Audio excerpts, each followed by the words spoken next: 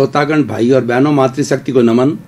Channel 24 plus news के खास, विशेष, मनमोहक, अच्छे इंसानियत के सूत्र देने वाला मानवतावादी बनाने वाला, अच्छे संस्कार देने वाला, बच्चों को, युवाओं को, महिलाओं को, वरिष्ठ नागरिकों, हर वर्ग को अच्छे संस्कार देने वाला लाइफ स्टाइल के बारे में सूत्र बताने वाला, व्यक्तित्व विकास कैसे हो, व्यक्ति आगे कैसे बढ़े और उसके भविष्य का निर्धारण कैसे हो, जीवन का सार कैसे निकालें निकालें, अध्यात्म विज्ञान और शिक्षा की बात बताने वाला पुनरुत्थान कार्यक्रम में आपका हार्दिक स्वागत है, अभिनंदन है, सत्कार है। पुनरुत्थान कार्यक्रम में हम प्रतिदिन नए नए विषयों के साथ में प्रवेश करते हैं। हर विषय को होलिस्टिक बनाया जाता है, सांगोपांग बनाया जाता है मल्टी डायमेंशनल बनाया जाता है।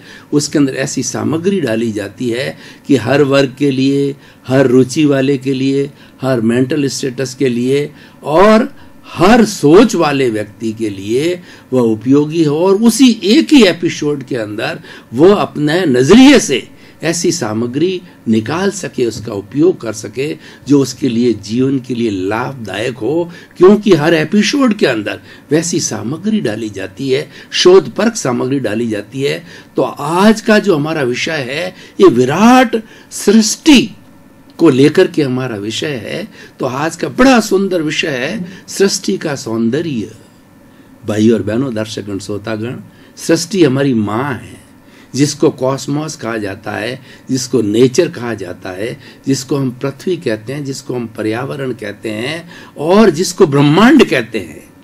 और इस ब्रह्मांड के अंदर चौरासी लाख जीवा योनि, वो उत्पत्ति स्थान है। जीवों की संख्या तो असंख्य अनंत है। सभी बड़े आनंद के साथ निवास करते हैं।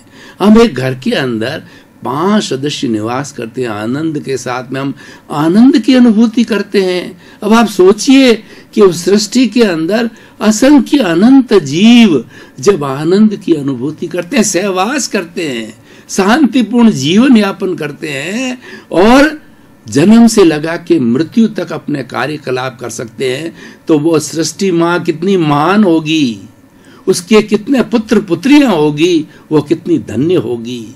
तो वो वैसी हमारी नेचर माँ है। उसके सौंदर्य के बारे में आज बात करना चाहते हैं। ये जो हमारी सृष्टि माँ है, ये जो ब्रह्मांड है, ये जो कॉस्मोस है, ये पंचभूतात्मक है दार्शनिक दृष्टि से। पृथ्वी, जल, अग्नि, वायु और आकाश। पाँच भूतों से सृष्टि बनी है। और कितनी सुंदर बात है, इन पाँच भूतों से चौरासी लाख जीवा योनि जो हमारी भारतीय संस्कृति में उत्पत्ति स्थान बताए गए हैं, सारे के सारे जीव कॉमनली इन पाँच ही तत्वों से जन्म लेते हैं। पाँच ही तत्वों से पोषित होते हैं ज़िंदगी भर, और पाँच ही तत्वों में विलीन होते हैं। जब कोई भी प्राणी मर जाता है, क्योंकि जीवित प्राणी का जीवन होता है तो उसकी मृत्यु भी होती है, जन्म के साथ मृत्यु निश्चित है, हर संयोग के साथ वियोग जुड़ा होता है, जन्मने वाला हर प्राणी मरता है, कोई सृष्टि में अमर नहीं है।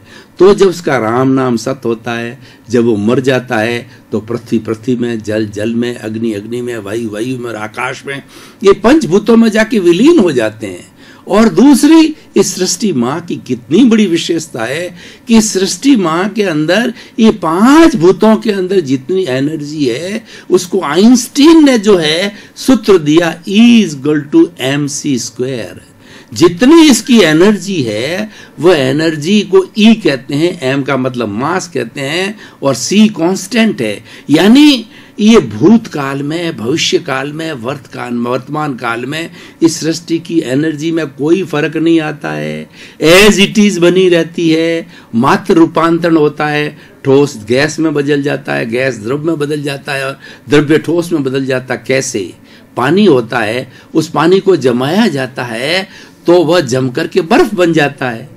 बर्फ़ को पिघला जाता है तो पानी बन जाता है। बर्फ़ को जो गर्म किया और और पानी को जब बॉईल किया जाता है हंड्रेड डिग्री सेंटीग्रेड पर तो वो भाप बन जाती है। कन्वर्शन है। ये ट्रांसफॉर्मेशन है। ये रूपांतरण है। पर सारी की सारी एनर्जी इस पृथ्वी माँ के अंदर, इस सृष्टि के अंदर हमेशा कायम रहती है। कितनी बड़ी सिमिलरिटी है। कितना बड़ा एक कॉन्सेप्ट है। उसके सौंदर्य की आज हम बात कर रहे हैं। देखिए, इस सृष्टि में विविधता है। इस सृष्टि के अंदर विविधता किस तरीके से है, आप किसी हिल स्टेशन पर चले जाइए। हिल स्टेशन पर जाकर के आप इस सृष्टि माँ को निहारिए, इस नेचर माँ को निहारिए, जिसने हमें हमें जन्म दिया है। कल कल बहती हुई नदियाँ हैं, झरने हैं, चहचहाते पक्षी है, और पशु इधर उधर दौड़ रहे हैं, और हरे भरे पौधे हैं, और अलग अलग रंगों के फूल है। इस माँ ने कितनी छटा बिखेर रखी है। वो छटा को आप देखते जाएँगे मग्न हो जाएँगे, मग्न होकर के आनंदित हो जाएँगे, वैसा आनंद कहीं नहीं मिलता है। इसीलिए लोग हिल स्टेशन जाते हैं, व्यक्ति किसी बड़ी परेशानी में होते हैं, व्याकुलता में होते हैं, दुख में होते हैं, उस दुख को भूलने के लिए वो सृष्टि के सौंदर्य को निहारते हैं। और सृष्टि मान है, देखिए कितनी सिमिलरिटी है कि मान है, एक रेत का कण भी अनुपयोगी पैदा नहीं किया, करती भी नहीं है। एक रेत का कण भी जो है, हमारे किसी भी गंदगी को मांझने के लिए काम आता। आपने कभी देखा होगा कि हमारे राजस्थान की जो बालू रेत है, उस बालू रेत से चाहे कितनी भी किसी भी धातु के ऊपर अगर गंदगी जमी हुई है मैल जमा हुआ है तो इससे मांझा जाता तो साफ़ हो जाती और यही बालू रेत बंबई में जाकर के बहुत महँगी बिकती है। अलग अलग कलर्स के अंदर उसको दिखाया जाता है। तो कहने का अर्थ यह है, कोई भी वेस्टफुल चीज़ नहीं बनाई है। पर इसको वेस्टफुल कौन करता है? इसको गंदा कौन करता है? इसको गंदा करने वाला मनुष्य है। मनुष्य का नज़रिया है। मनुष्य के अंदर राग द्वेष है। वस्तु में राग द्वेष नहीं है। राग द्वेष वस्तु में नहीं होकर के नज़रिए में है। हमारी दो आँखें हैं। एक आँख प्रियता की आँख है, एक आँख अप्रियता की आँख है। हम किसी वस्तु को, किसी व्यक्ति को, वस्तु को देखते हैं, ये अच्छा है, ये अच्छा नहीं है, ये स्वादिष्ट है, ये बेस्वाद का है ये बेसुरा है, ये अच्छे सुर का, और हम कमेंट्स करते हैं ओपिनियन देते हैं, क्योंकि हमारा वो नज़रिया जुड़ता है। और हम उस नज़रिए को अगर दोनों को एक समान समझें, जैसे कि सृष्टि माँ समझती है, सृष्टि माँ देखिए कि यहाँ पर कितनी अशुद्धि माँ के ऊपर छोड़ी जाती है, ये पृथ्वी हमारी कितनी अशुद्धि को सहन करती है। और और उसको अशुद्धि का रूपांतरण करके शुद्ध रूप में बनाई जाती है। देखिए कि जो हम वेस्टफुल जो है, हमारा मल मूत्र त्यागते हैं, उसकी नाइट्रोजन काम होकर के और वही खाद बनती है। और वही खाद बन करके और फिर सब्ज़ी के लिए काम आती है और हमारे फ़ूड ग्रेन्स में काम आती है। जो पानी हम गंदा करते हैं, वो पानी, जो ड्रेनेज का पानी है, जो एकदम गंदा पानी है, वो पानी फ़िल्टर होता है। फ़िल्टर होकर के हमारे इरिगेशन के काम आता है, सब्जियों के काम आता है, फल फ्रूट्स के लिए काम करता है। तो बताइए, पृथ्वी की कौन सी चीज़ ऐसी है जो कि यूजलेस है? कोई भी चीज़ यूजलेस नहीं है, पृथ्वी माँ बनाती नहीं है। इसलिए भाई और बहनों, दर्शकगण, श्रोतागण, ये आज का ऐसा विषय है, माँ की जितनी उपासना करो, उतनी कम है। इसलिए दुनिया के अंदर माँ के आशीर्वाद से बढ़ करके कोई आशीर्वाद नहीं होता है। जननी जन्म भूमि गरियता जननी जन्म भूमि गरियशी। यानी जननी और जन्मभूमि स्वर्ग के समान होती है। बड़ा से बड़ा व्यक्ति, वो ये चाहता है कि मैं मेरी जन्मभूमि का कर्ज उतारूं। बड़ा बड़ा से बड़ा सैनिक है, वो फ्रंटियर्स पे क्यों लड़ता है? वो अपनी जान हथेली पे लड़क, लड़ता है, क्योंकि वो इस माँ का ऋण उतारना चाहता है। ये सृष्टि की खूबी है, ये सृष्टि का सौंदर्य है, लेकिन मनुष्य आज बहुत लोभी हो गया है। अब मैं आज के परिप्रेक्ष्य के अंदर बात करना चाहता हूँ कि मनुष्य जो है, इतना लोभी हो गया है कि सृष्टि माँ की अवहेलना कर रहा है। सृष्टि माँ कहती है कि मेरे पास भरपूर सामग्री है, हमारे राजस्थानी में एक कहावत है कि जिसने चौंच दी है, वह चुग्गा भी देगा। और हमारी सृष्टि माँ क्लियर कहती है कि मैं तुम्हें किसी को भूखे नहीं मरने दूँगी। भूख और पानी कारण तुम्हें मरने नहीं देगू, दूँगी। मेरे पास में ample of the plenty of the things are there to survive you लेकिन मनुष्य कितना लोभी है कि सृष्टि का पूरा धन उसको दे दिया जाए तो भी एक मनुष्य की तृष्णा तृप्त नहीं होती है। ये ग्रीड कहलाती है। और इस बुराई के कारण आज सृष्टि माँ का दोहन हो रहा है। कैसे दोहन हो रहा है कि हमारे जो, हमारा जो ओरिजिनल पृथ्वी है, उस पृथ्वी को खोदा जाता है। हज़ार फुट, दो हज़ार फुट, तीन हज़ार फुट, पाँच हज़ार फुट, उसमें से पानी निकाला जाता है। और उसमें से कई मिनरल्स निकाले जाते हैं, उसमें से क्रूड निकाला जाता है, पेट्रोलियम निकाला जाता है, आदि आदि। उसका दोहन किया जाता है, मार्बल निकाला जाता है, और उसका आज दोहन इतना हो गया है कि पृथ्वी की centre of gravity C G हर व्यक्ति की सेंटर ऑफ़ ग्रेविटी होती है, हर वस्तु की सेंटर ऑफ़ ग्रेविटी होती है। जब वो सेंटर ऑफ़ ग्रेविटी डिस्टर्ब होती है तो व्यक्ति गिर जाता है। हमारी पृथ्वी के दोहन के कारण उसकी सेंटर ऑफ़ ग्रेविटी डिस्टर्ब होने से सुनामी आते हैं, भूकंप आते हैं, अतिवृष्टि आती है, अनावृष्टि आती है। ये हमको पनिशमेंट है। माँ ये कहती है कि मैं तुम्हें पारितोषिक दे सकती हूँ, तुम्हारा भरण पोषण कर सकती हूँ तो मुझे पनिशमेंट देने का भी अधिकार है। हमको समय समय पर पनिशमेंट दिए जा रहे हैं। आजकल बीमारियों का कितना प्रकोप है, क्योंकि हम नेचर की अवेलना कर रहे हैं। हम अप्राकृतिक हो गए हैं। हमारा भोजन है, वह जंक फ़ूड हो गया है। हमारी सोच है वो नेगेटिव हो गई है। और हमारी जो लाइफ स्टाइल है वो आराम तलब भी हो गई है।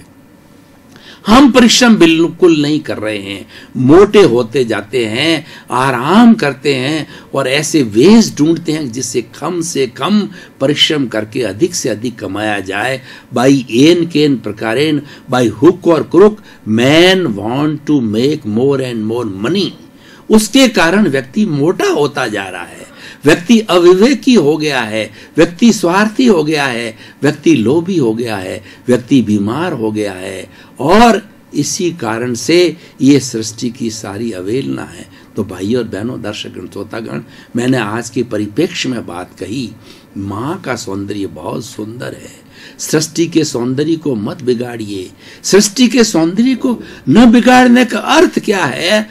अर्थ यह है कि इस सृष्टि में जिसने भी जन्म लिया है, हर एक सुख चाहता है। कोई दुख नहीं चाहता। छोटा से छोटा वायरस प्राणी भी मरना नहीं चाहता। वह भी ज़िंदा रहना चाहता है। तो हमें उसका जो है जीवन हनन करने का क्या अधिकार है? हम कितने जीवों का हनन कर रहे हैं? पृथ्वी का है, अप का है, तेजस का है, वायु का है और वनस्पति का है।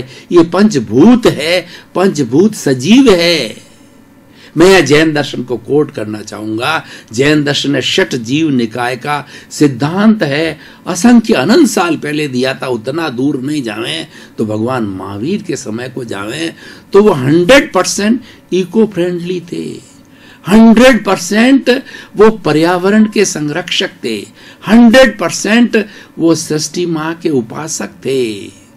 इसीलिए उन्होंने पृथ्वी जो हम ऊपर जो पृथ्वी के रेत हटा करके कोई फोड़ते हैं, मुरड है, खरड है, माटी है, गेरू है, कुछ भी निकालते हैं, ये असंख्य आत्माओं का पिंड है, काय का मतलब शरीर। पृथ्वी रूपी इस काय के शरीर में असंख्य आत्मा निवास करते उनको फोड़ के मारते हैं।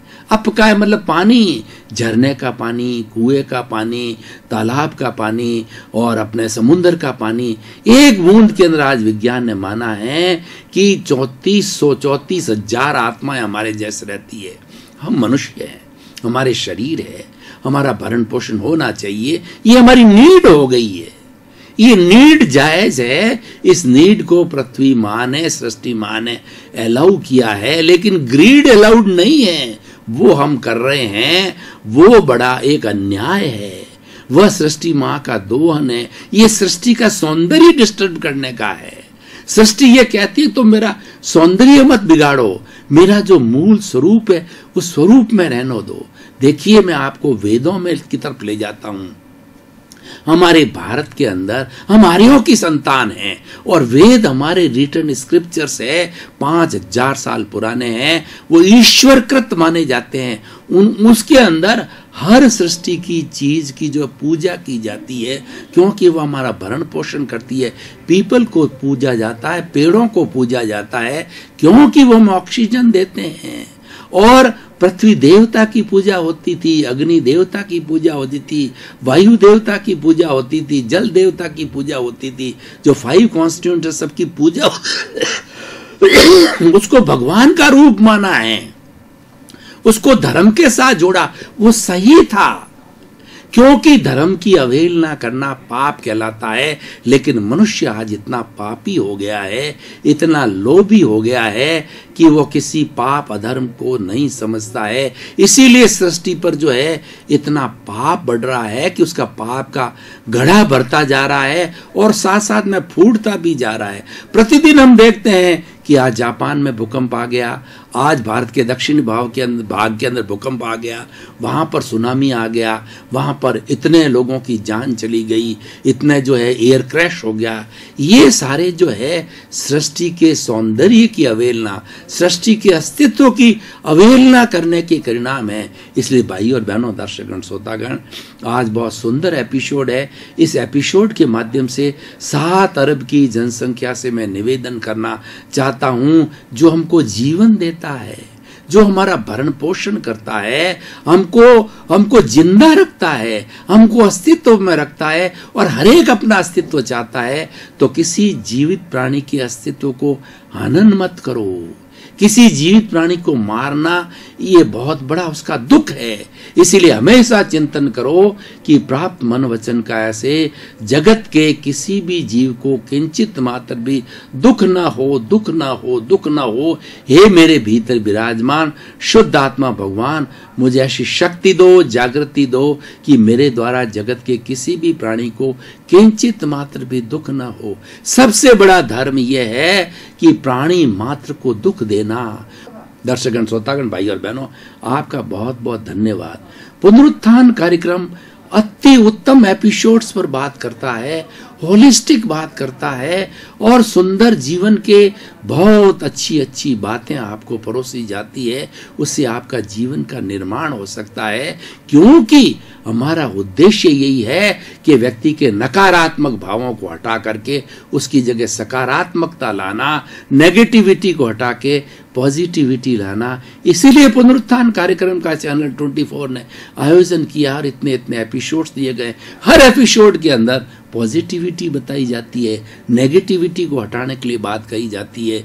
इसी क्रम में आपका जीवन आनंदमय हो, मंगलमय हो और सुखमय हो, आप शतयु होकर के और समाज का खूब परोपकार करें, अपने जीवन को धन्य बनावें। आपके प्रति मंगल भावना।